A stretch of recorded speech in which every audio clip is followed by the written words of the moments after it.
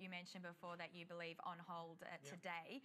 Um, what is that? What are the, the main the main basis, I guess, of your view? Yeah, I mean, I think as, as David highlighted, I mean, you look at the the employment data. I mean, the headline was weak, but if you looked at the part-time, full-time splits, that was very positive.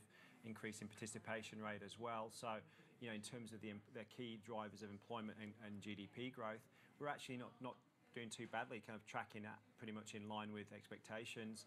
And as David pointed out, the CPI came in pretty much in line with ex expectations, RBA expectations, and market consensus. So I don't think we disagree that there is an easing bias, but probably they maybe hold off this month. And another factor as well, do they do they hold back um, some of the rate cuts because Philip Lowe is going to be coming in as the new governor in mid-September as well? So I'm not sure whether that plays a, a factor internally in terms of the the decision as well. Mm -hmm. Dave, what sort of reaction you